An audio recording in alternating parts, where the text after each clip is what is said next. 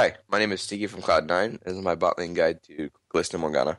So I think for solo queue, Kalista Morgana is pretty good. Right now, Kalista is probably the strongest AD, if not just on the same level as like Corki. Uh, but so that, that means that any support is going to go really well with Kalista. I've heard random suggestions of like Gnar support with Kalista, but that just means that literally anything will work. But Morgana is actually pretty decently strong because she protects Kalista in what she's trying to do. So even though Kalista can dodge a lot of CC, there's some there's some spells that she can't dodge. Like against an Annie, she can't really stun, dodge the stun, just point and click, and it'll always go.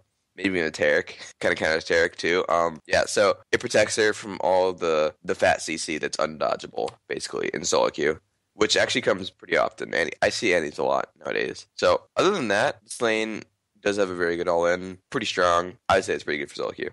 Synergy between Kalista and Morgana is pretty good. They they work well together because of the fact that if Morgana ever lands a bind, that means they're just stuck there, and you can just throw all of your spears on them, and they they will be nearly dead because Morgana can get free auto attacks, which procs your W, and then they'll be pretty low already from all the stuff, and then when you finally activate your rend, they'll probably just die. So for that reason, they have pretty strong synergy. And then another reason is the fact that Morgana protects you from all the stuns and stuff that you can't really avoid. Maybe even the ones that you can't avoid, she'll protect you from. Just make sure that you can get as many spear stacks as possible. And then at level six, both of you roaming around together is really strong because the fact that when you throw in Morgana, she can either get a binding off her immediately or get her ulti off and slow him down and just lock him down forever. So pretty good synergy. So for those one and two on Morgana Kalista, you kind of want to just play it back a little bit. If you started your W for the uh, Camp Grand Golems, then you just want to attack together. Don't go too ham because you don't have a- actual kill potential yet. When you hit two, if Morgana does land a bind and there's not a lot of creeps in the way, you guys can try and go for a kill. Uh, your W will activate when you're both allowing the binded target, and then they should get low enough from the spears that you might be able to follow up. But considering it's still early and you can't get them many spear stacks or have that much mobility, I would still be careful about it, even if you landed binding. So I've actually lost a lot of lanes personally doing that, trying to all in super early. So just be careful about it, but you can still try to follow up on the bindings a little bit. Levels three to four is Kalista's strong point, and it's kind of Morgana's strong point as well. Uh, at level f- three. I'm not actually sure what Morgana might put her extra point into, but she might put it in the two points in Q or maybe her Black Shield. But guaranteed by four, she'll have all three of her abilities and an extra point in her Q. So they'll be locked down longer. It'll do more damage.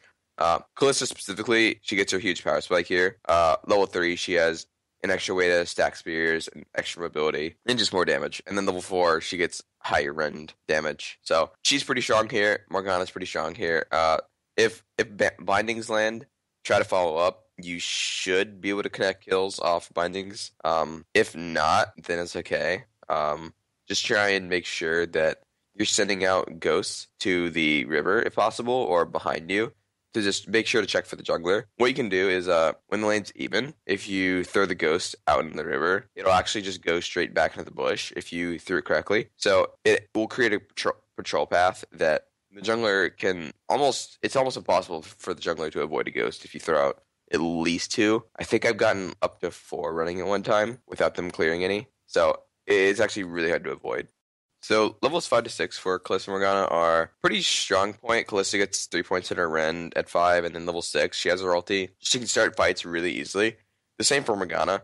Her binding is super long now, does lots of damage. And then she can actually just get ultis off on her own, but you can actually just start it for her by throwing her in, or you can actually, a, a, a pretty good shot is just saving it. So when Morgana is going super crazy in, trying to get that double ulti off and the double stun, uh, the second you see the jungler in and he's just super deep, like your, your Morgana super deep, you can just pull him back and he'll be safe. Um, past that, you guys have a lot of damage and a lot of CC. So you will be able to win all ends if you can get the ulti off without, you know, the jungler coming in and destroying you. So just be careful about it. Make sure you have vision and you should be able to win any all in.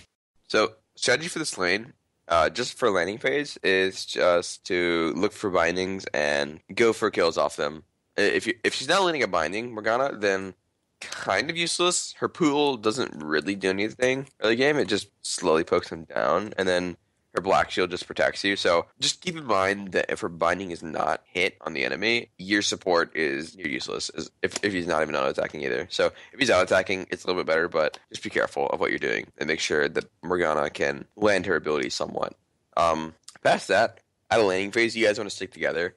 You both are a very threatening duo. Uh, it's hard for her to get caught, and it's hard for you to get caught, and you both do lots of damage. So she's going to look for bindings across the map. Maybe you can even follow up. So say she's camping a bush, and you're right next to her. She lands a super long range binding. You can even just throw her in immediately, and she'll be able to lock up the enemy, and they'll just die. So just look look for stuff together, and you'll be good. Thanks for watching this guide. If you have any questions, you can follow me and tweet me at C9Sneaky. So make sure to check out my other guides here at lolclass.com.